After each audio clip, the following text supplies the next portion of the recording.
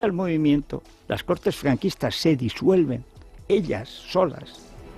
En la oposición no estaba más que el Partido Comunista, no había más.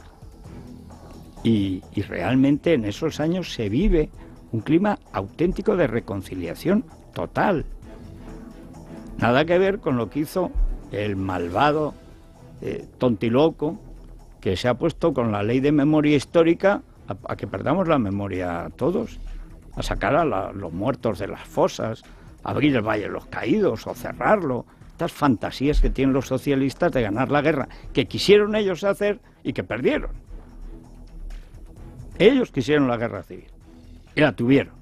Y que la denuncia es un tercio del Partido Socialista, que es el de Besteiro, y hay un libro fundamental que se publica justo antes de empezar, de desatarse del todo la guerra, que se llama Anticaballero, dice, vamos a la guerra civil, como quiere Francisco Largo Caballero. Y además, sin ninguna seguridad de ganarla. ¿Por qué pensar que vamos a ganar la guerra civil? Y efectivamente, al final la perdieron. Por lo tanto, era muy venía muy al pelo el recordar que la tarea fundamental de Suárez fue enterrar la guerra civil y en un clima de libertades. Bueno, las libertades que nos tomamos todos para atizarle a Suárez, que al fin y al cabo esa es la libertad, poderle atizar al poder. Que el poder te atice, eso no es mucha libertad, es la libertad que tiene el poder. Anda que no ha cambiado la situación en los medios de Suárez a Rajoy.